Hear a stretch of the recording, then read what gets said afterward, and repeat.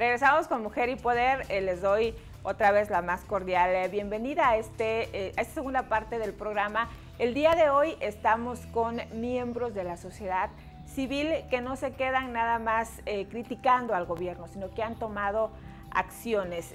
me da muchísimo gusto presentar a alguien que además es mi amiga, alguien a quien yo admiro porque es una mujer empoderada, es una mujer sensible, es una mujer muy luchadora y sí estoy enamorada de ella, como se puede notar a través de las cámaras. Es mi amiga Alma Nicolás, quien tiene una fundación, eh, Fundación NG Oaxaca, que es para ayuda en general. Es una empresaria que ha sido muy exitosa, pero que eh, ha también, a través de estos éxitos que ha tenido, decidido ayudar. Muchísimas gracias por estar con nosotros en Mujer y Poder Alma. Hola Nadia, ¿cómo estás? Muchísimas gracias por la invitación. Estoy muy, muy, bueno, muy contenta primero de verte. Teníamos un ratito ya sin vernos. Y muy contenta por esto, por venir a difundir lo que nosotros hacemos. Quiero preguntarte, Alma, ¿de qué se trata la Fundación NG? Quienes eh, te conocemos sabemos que eh, das eh, mucho eh, apoyo en general a quien te lo solicita. Pero para que la gente que nos está viendo y la gente que nos va a leer también mañana en el periódico sepa de qué se trata la fundación. Bueno, Fundación NG Oaxaca nace a raíz de dos proyectos, tú sabes, que son dos, este, dos, empresas ¿sí? que yo dirijo, que actualmente ya se le sumó otra que también es bajo mi dirección. Y es básicamente una fundación que trabaja con recursos propios y que está enfocada a hacer labor social. Labor social que hemos estado visualizando desde hace cinco años que montamos este, pues este, esta empresa y que nos ha sensibilizado. Cuando vives de cerca alguna situación así, Nadia, es complicado asimilar y tienes forzosamente que hacer algo para, pues para estar bien contigo misma. Fundación NG es ayudar solo por ayudar, cualquier persona que se acerque y tengamos la posibilidad de apoyarlo, lo hacemos. Aquí es sin tintes partidistas, no tenemos un color, hemos trabajado con organizaciones, hemos trabajado con algún partido político también, hemos trabajado con, infinidad de personas. Con los que necesiten. Con los que necesiten, con los que tengan la necesidad. Es muy, es muy gratificante hacerlo, Nadia sobre todo porque, como te comento, es un proyecto empresarial. Obviamente, sin la ayuda de los clientes no fuera posible. Agradezco profundamente a ellos el apoyo que nos han dado a través de su compra, a través del servicio que van a realizarse a las instalaciones. Eh, ¿Qué tiempo lleva la Fundación NG? Ya nos dijiste, y nos dijiste nada más una parte, me gustaría que te explayaras, ya nos dijiste que nace a partir del éxito que han tenido tus empresas, pero también nacen de un asunto muy personal tuyo, Alma, es decir, eh, cuando como mujeres, como hombres nos enfrentamos a un asunto de salud delicado, nos sensibilizamos mucho más. Em, hay quien tiene la posibilidad, tú eres una mujer luchadora que tiene la posibilidad de tratarse en el lugar eh, que quiera, de gastar los recursos que sean necesarios, pero como te ha tocado vivir también, hay gente que no tiene esa posibilidad. Y es muy triste saber que eventualmente morirán, que eventualmente tendrán una calidad de vida muy mala porque sencillamente no tienen los recursos para acceder a eh, buenos médicos y en general a, un buen sistema de salud. Eh, ¿Hace cuánto inició NG y cuál es realmente el por qué inició?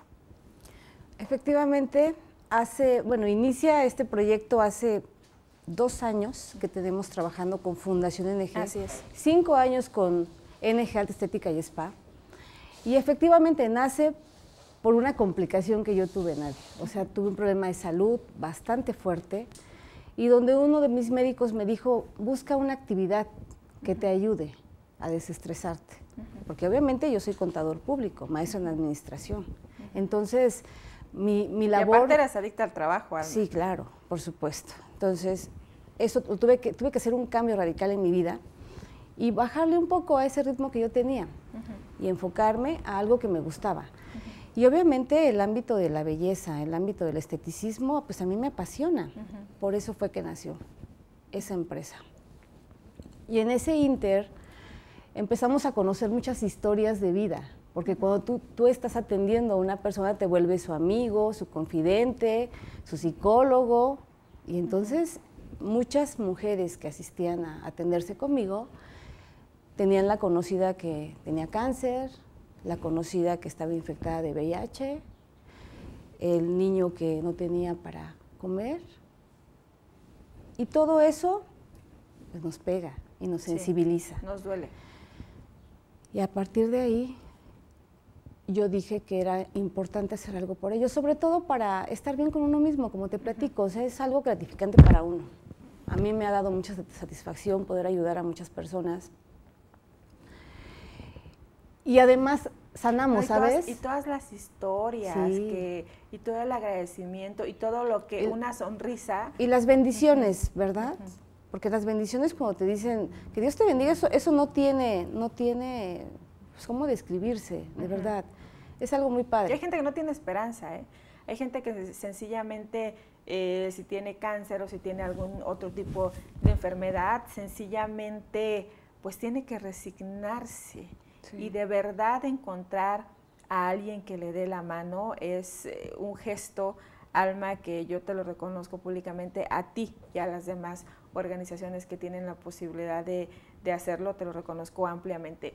Fíjate que quienes tenemos la oportunidad de, conocerte, y habrá muchos que te estén viendo en este momento y que te, conozcan, conocemos a la alma dura, a la alma combativa, a la alma que siempre gana, a la alma que no se quiebra. Ah, Pero el hecho de que tengas eh, la fundación y que abras tu corazón con la gente eh, que de verdad necesita apoyo, habla de otra personalidad que no necesariamente se muestra a quien no se la merece, porque la verdad es que en el terreno en el que nos toca movernos, el terreno de la política, el terreno de las comunicaciones, pues no estamos para sensibilidades, Alma, ¿no? ¿Cómo te ha eh, cambiado esta mm, experiencia de estar con la gente que lo necesita? Y alguna experiencia que puedas eh, contar, alguna historia que de verdad te haya conmovido? Mira, hay tantas historias que pudiera yo mencionarte ahorita. Hemos estado con personas que tienen cáncer terminal, con personas que están iniciando el tratamiento apenas, con personas que tienen SIDA como tal, que ya no hay esperanza alguna para ellos, con personas que no tienen ni siquiera algo para llevarse hoy a la, a la boca. ¿no? Son situaciones muy complicadas. Eh, este proceso, el mío, empezó a raíz de mi problema, que todavía lo conservo, todavía lo tengo. Sin embargo, esa alma dura que tú dices, Nadia, es precisamente por eso, porque no podemos las mujeres dejarnos caer por, por una situación, o sea... Eh, eh, el, sistema en el que estamos no nos da la posibilidad de ser sencillamente sensibles. No, no, sobre todo las mujeres que tenemos, bueno, más bien, todas las mujeres debemos de tener esa fortaleza y sacarla de donde sea bajo cualquier circunstancia, porque es lo único que nos va a levantar. Bajo cualquier circunstancia, llámese trabajo, enfermedad, divorcios, no sé, ¿no? Alguna situación de índole personal, lo único es la fortaleza y tenerla siempre, llevarla con nosotros. Y, conforme uno va caminando, conforme vas creciendo, te vas haciendo fuerte. Y es por eso que tú me mencionabas hace un momento, ¿no? Conocemos al alma fuerte. Efectivamente, hemos pasado muchísimas cosas, Nadia, muchísimas cosas. Mi padre fallece de cáncer. A muy temprana edad le detectan a un sobrino mío cáncer. Entonces, te vas fortaleciendo, pero también vas aprendiendo de la vida. Vas sabiendo que podemos ayudar a esas personas cuando a nosotros en su momento no nos ayudaron, ¿verdad? Cuando lo vivimos muy de cerca y tuvimos también... Cuando nos abandonaron exacto, que más lo necesitábamos. Exacto. Pero si podemos aminorar el dolor de alguien, lo podemos hacer. Vivir con dolor, yo te lo digo, no es fácil. No es fácil. Es un proceso muy complicado. Pero para eso, para eso somos mujeres, somos fuertes, somos todas somos bellas. Y obviamente eso es lo que nos debe de levantar, la misma autoestima de nosotras, ¿no? Eres una guerrera alma, nos vamos a un corte, es muy breve, regresamos al último bloque y mm, eh, en este último bloque eh, yo le voy a pedir a Alma que nos dé un mensaje, vamos a hablar también de su vena empresarial, de cuáles son los negocios que tiene y también, por supuesto, le vamos a pedir que nos invite. Nos damos un corte, es muy breve, regresamos.